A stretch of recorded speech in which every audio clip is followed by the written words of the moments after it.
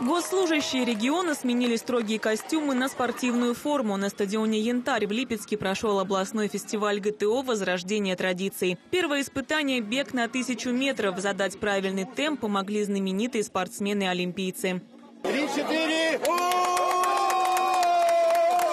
Провести выходной день активно решили около 200 человек, сотрудники более чем двух десятков управлений и служб и организаций Липецкой области. Никаких ограничений по возрасту, для каждого своя таблица нормативов. Фестиваль своего рода репетиция. Значков ГТО здесь не зарабатывают, но показывают, как за них нужно будет бороться.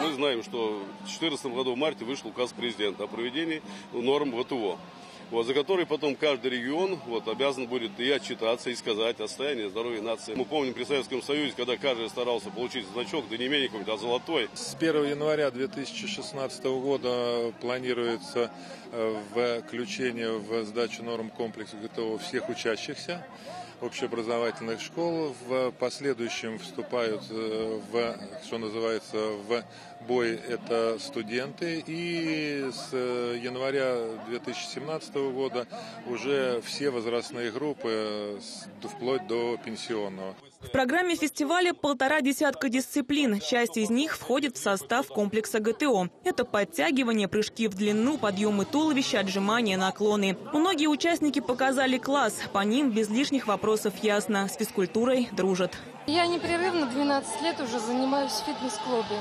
силовыми видами спорта. Спорт – это всегда здоровье, это отсутствие болезней в сезон, вирусов и общая физическая форма идеальная. Зимой лыжи, и летом э, пробежки, э, велоспорт, футбол, в общем, все игровые виды спорта принимаю участие, потому что э, движение – это жизнь. У служащего должен обязательно быть в хорошей физической форме.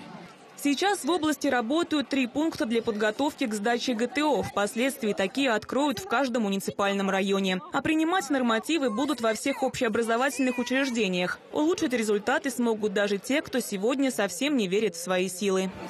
Я одного раза не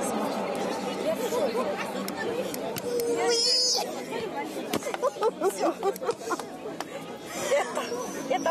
хоть засчитайте. В командном первенстве лучшими стали представители управления по контролю и регулированию контрактной системы в сфере закупок. А сотруднику ФСИН поставил рекорд в личном зачете. За 30 секунд сделал 36 упражнений на пресс. Потери энергии участники фестиваля восполнили на полевой кухне. А где хлеб, там и зрелище. Собравшимся представили показательные выступления по новым видам спорта.